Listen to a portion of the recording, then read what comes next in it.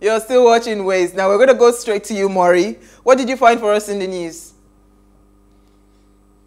Okay, so Lagos State Governor Babajide Sanwo-Olu has reviewed the state government's plan on COVID-19 vaccine uh, rollout and the effort to bolster mass vaccination of residents in the state. Mm-hmm. Sanwo-Olu made the disclosure in a Channel television program, Sunday Politics. He said that Lagos is aiming to achieve 60% rollout when the vaccination program commences in the coming weeks, it sort of gave me, um, what do you call this thing, peace of mind to know that at least, even though they're not actively doing something about it currently, they are making huge plans towards it. So, yeah, that's what I found on the news for today. Thank you. Well, it's actually very interesting because um, I'm happy about all of these things. My only worry and my only concern is when this vaccine come, you know, are we going to be paying for it? Is it going to be free? What exactly is the plan? You know, because... Uh, well, they're not, we don't know. No, go ahead, please. No, because most times government will tell you something is free. when you get to the office, it's a different grammar you would you hear. And COVID-19 is not something, COVID-19, I mean, COVID-19 is like malaria, right? The symptoms are very similar to malaria. So I'm thinking, why well, maybe that's our conversation for today. So we'll just save it for when we'll have um, um, Dr. Yemisi and we'll just gist about it, you know, because it's just so interesting. If you want to solve a problem, shouldn't you be thinking, you know, how to bring how down, to, yeah. yeah. And how I'm just wondering, easily accessible. Thank you. Accessibility, that's the word I was looking for. Jennifer, what did you find for us in the Okay, so um, herdsman crisis. Exercise restraint, the federal government urges Nigerians. Mm. So basically, um, the federal government has urged Nigerians to exercise restraints following the brewing conflict in the northern regions of Oyo State, as well as the tension in Ondo State. Mm -hmm. So um, this just goes to show that in almost every part of Nigeria, we have security issues.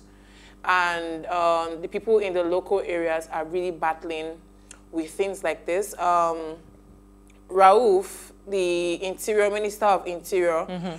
said, I think he tweeted something which they said he deleted later on, but he said something. He said, let us all try to be our brother's keeper and work towards building a peaceful community that works for all, irrespective of ethnicity, religion, and other forms of differences.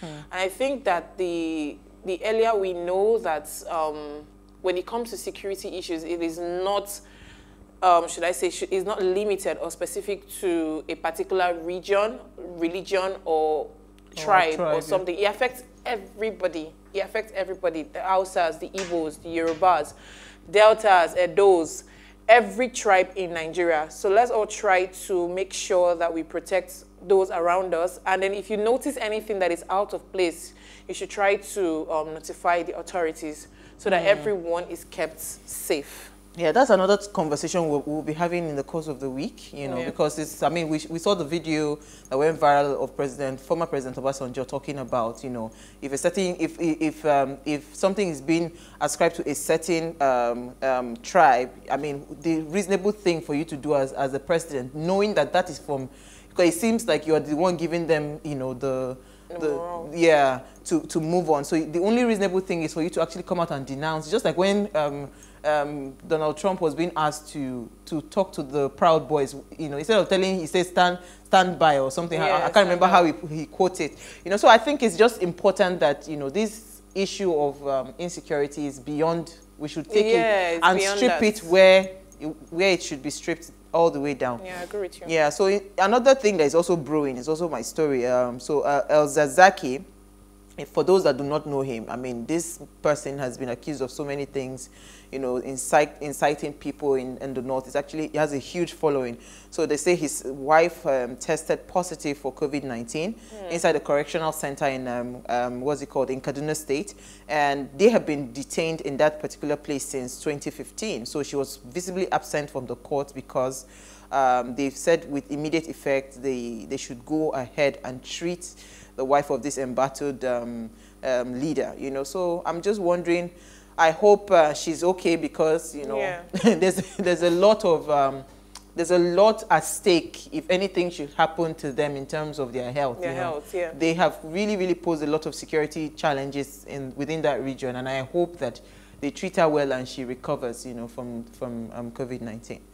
I think, um, Maury, do you have anything to add to the conversation or we'll just move on? I honestly feel like until she goes back, before my mind will be at, you know, be at peace. Yeah. Like to get out this. But this country, I honestly don't really trust them.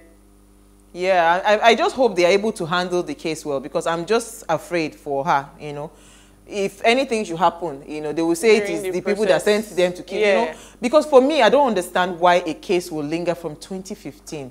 Just imagine you being in a place, I mean, from 2015, you know, all the way. This is like how many years?